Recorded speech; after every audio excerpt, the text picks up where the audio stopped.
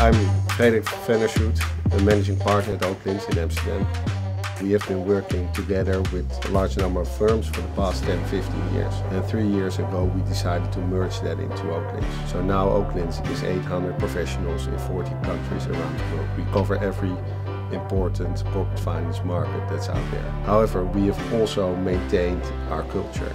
And the culture is locally rooted partnerships, highly entrepreneurial. And that's what you will see in every Oaklins team around the world.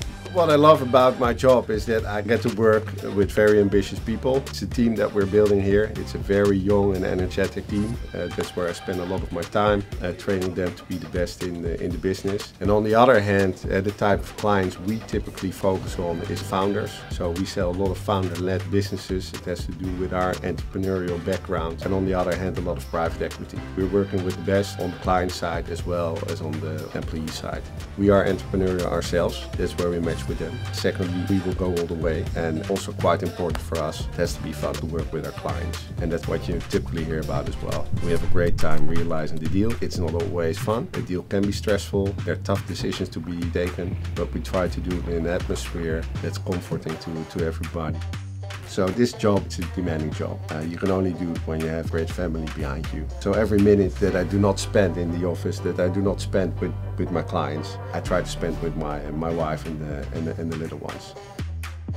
If companies want to get the best out of Oaklins, it's important to start early. It's important to say we are here for the long run. People typically have built a great, great company and you have to start preparing early. It has been a pathway coming to where you are and then you decide at one moment in time, I maybe want to sell my business. It's not a small thing, it's a big thing. It's a big achievement after years and years of blood, sweat and tears and hard work. And you definitely want to have the best outcome possible.